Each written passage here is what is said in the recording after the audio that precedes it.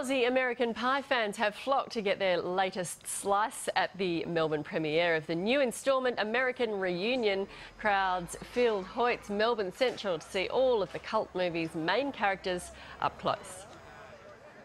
I can't believe it's taken me this long to get to Australia. But this is this is absolutely amazing. This is like this is this could be the best opening I think I've ever been at. American Reunion hits screens around the country next month.